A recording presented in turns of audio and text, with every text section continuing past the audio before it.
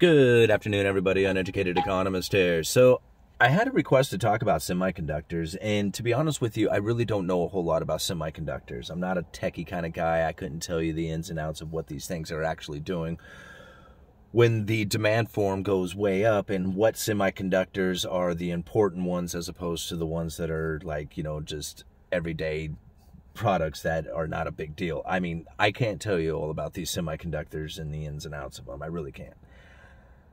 However, I have been following the issues, what's going on as far as the production of these semiconductors and the companies that are the producers of the equipment that make these semiconductors, along with the companies that make semiconductors. So there's a lot that's going into this. Now, the first article that I'm going to leave down in the description is from back in December of 2020. Yeah. And this article is talking about a Chinese corporation that is defaulting on their bonds, and they are a producer of these semiconductors. And if I remember right from the article, I think they were like the largest producer in China for these for these semiconductors. So even like eight months ago, there was corporations that produced these things that were having major issues taking place with their debt, and it continued on with China as far as the availability of getting new machinery. I'll leave a link down in the description for this article as well. They had tried to purchase these semiconductor making machines. I don't know what to call them, but anyway, they tried to purchase these purchasing these things from the Netherlands, and they found that the Biden administration was going to carry on with the Trump's tariffs and saying, you know, no, you guys can't get these things because of I don't know national security reasons or whatever it is that they use. But China, who was trying to produce more of them, was actually being denied by the United States from getting the machinery they needed out of the Netherlands. I thought that was quite quite an interesting story. And I'm going to leave a bunch of links down there. I have probably, I don't know, I, I won't leave all of them because I have probably have 20 or 30 links down there for, for all these different uh, issues that were taking place as far as um, the semiconductors go. But I, I don't know. I don't. I'll probably leave like six. Okay, I won't leave them all down there because that would be crazy. Um, one of the other issues, cost of production. So this is this is what I I mean. It doesn't really have to do with the production of it, uh, as far as like what's coming into the availability. What the counterfeit chips I think about is like when a comp when if you were a producer of a good that you need these semiconductors, right? You know, whatever little component that it is that you're building, and you get counterfeit chips in, right? Not only do you have the loss of revenue from spending it on those chips because you now have to take your you know take money to another company and order these chips again so not only do you lose the money on the product itself but then you have to basically double that by buying it again from a legitimate company but then also the cost goes up again because now you're leery of whether or not you're going to get, you know, chips that are even, you know, capable of doing the things that you need them to do. So now your security measures go up and now you're that's added cost to it. So not only are the companies that are getting hit with counterfeit chips, these you know, these counterfeit semiconductors, shoddy made or whatever, not only are they some of these guys getting hit, but now the other companies who may have not purchased counterfeit chips are beefing up their security in order to make sure that they are not getting counterfeit chips as well. Does that kind of make sense? So you can see how like the added cost are going into these semiconductors before they even get the semiconductors just by making sure that they are legitimately going to be functional chips. Anyway, thought that was an interesting story, so I'm going to leave that one as far as a link down in the description. Now, what I found interesting is coming from the Taiwan Semiconductor Manufacturing Company.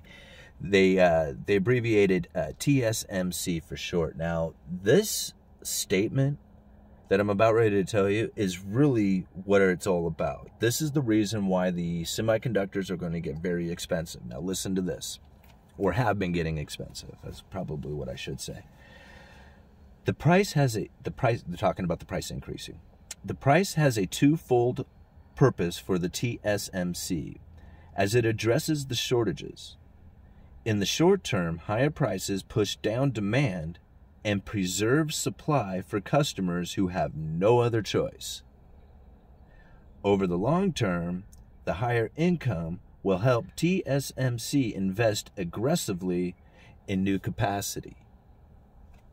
So that's a very interesting thing to think about is that it has a twofold purpose. One is that if you drive the prices up, only the people who are in absolute desperation, have no other choice, will buy those semiconductors, leaving them the availability of it. Now, if you had the prices lower, which they could probably do, but they're going to elevate them beyond what they should so that they can create this environment for the people who have no other choice very much like the plywood issue that was taking place inside of the construction industry.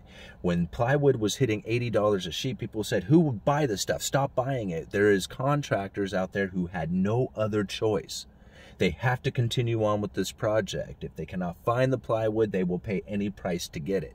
Very much like the semiconductor situation. So if they elevate the price of the semiconductors beyond what it is that they probably should, then they will create a, an amount of inventory for the absolute desperate people. Does that kind of make sense? And then on top of that, all that extra profit will go into producing even more semiconductors. Now, that is where the big item is going to be as far as what's going into the semiconductors the added capacity. Soon, the demand will be met like there was a time when there was companies out there who could produce enough semiconductors to meet the demand. It was a just-in-time demand. But now you got corporations and companies and everybody else out there who is short of these chips who are in desperation. They are buying an over amount than what they need. They are panic buying. Very much like what happened in the lumber industry, as a lot of lumber yards were panic buying as they could not get the material that they needed for the contractors who were in desperation of those materials.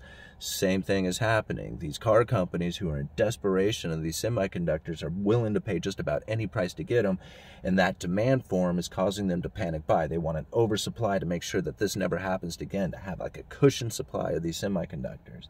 So now the like the orders for these semiconductors is now overwhelmingly high where it went from having a just-in-time delivery to now I want a bunch on hand so that I'm never short again has caused the industry of producers to now go into like mass production of these things or I shouldn't say mass production going into what could be mass production of these things or a massive production. They're already in mass production but go into massive production is what I should go in characterize that as or describe that as. Anyway, found those to be very interesting articles. Now, I'm going to leave links down in the description talking about all that stuff, including the glut of semiconductors that will be coming soon. Now, that has me thinking what's going to happen to the industry once the gluts start kicking in. Once people say, I have enough semiconductors, I don't need any more, or I'm producing my own or the efficiency of building these semiconductors comes to the point that these companies who have invested all this money and time and effort going into making more chips are losing profit. Whiplash effect. Okay. Let's open some mail, guys. Uh, first one. Oops. This is from Someone Logistics. I think this might have been shipped from from the mail. I don't think this is actually the person who sent it to me. Let's see here.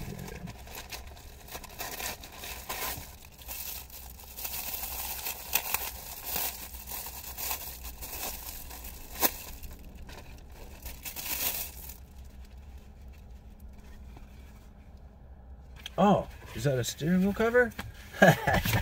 right on. Now I got something else for you guys to laugh at. Oh, can I get it on there? see. Gotta fix it. Cool, I'll straighten it up there in a minute. Thanks, man. right on. Cool. All right, what's this one?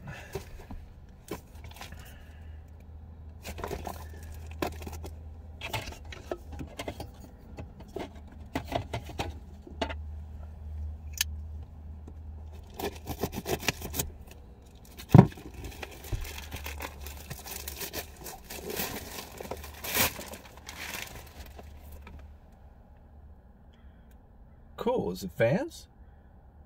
Double-headed vehicle fans. Cool. Oh, that's nice for when uh, I'm doing videos in here. Uh, low noise. Nice. Yeah, I could turn that on and blow some breeze over me so I don't burn up while I'm doing videos in the car. I like to roll the windows up so we don't get so much noise, but...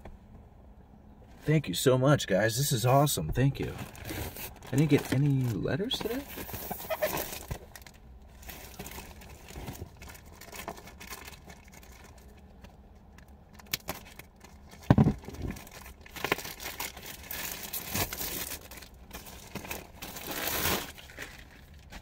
Oh, right on. New seat covers.